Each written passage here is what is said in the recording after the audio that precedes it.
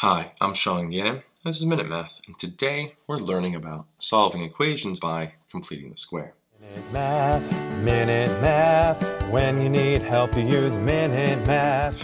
We're given this problem right here. 2n squared plus 12n plus 10 equals 0. We want to solve this by completing the square.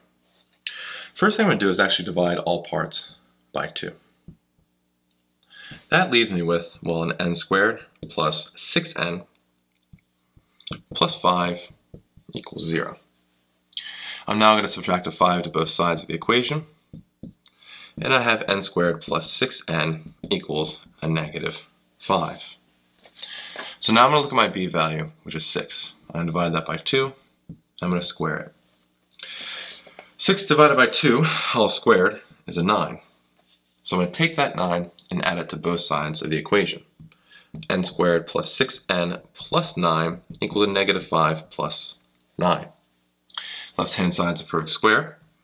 n plus 3, that was by design, square. And negative 5 plus 9 is a positive 4. Take the square root of both sides here. And we have n plus 3 equals, well, plus or minus square root of 4, which is 2. We can break this down into two equations. n plus 3 equals a positive 2, and n plus 3 equals negative 2.